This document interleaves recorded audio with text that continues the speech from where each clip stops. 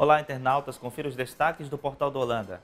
Ontem à noite, na Arena da Amazônia, as meninas do Iranduba empataram com o time de São José de São Paulo pelo Campeonato Brasileiro Feminino. Confere só os lances. Tiro, Lino lá, tiro, Lino ali, a bola vai entrando e o gol! Pelo meio vai a garotinha, o chute e o gol!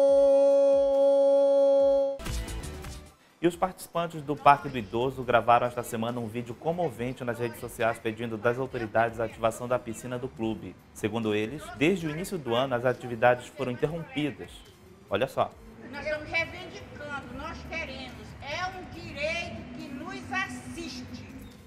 Esta e outras notícias você confere aqui no portaldoholanda.com.br.